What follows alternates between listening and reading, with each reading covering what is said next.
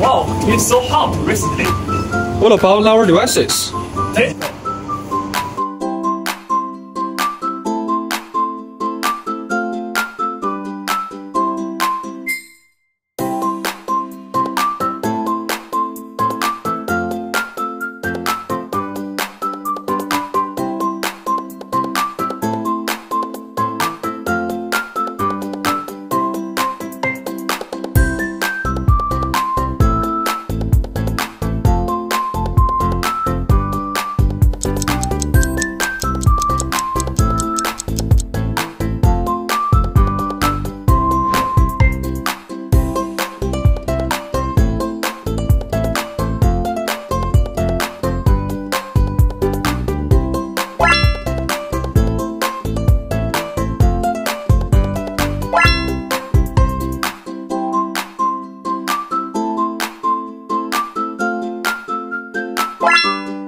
Be careful, looks so hot inside. Oh, no worries.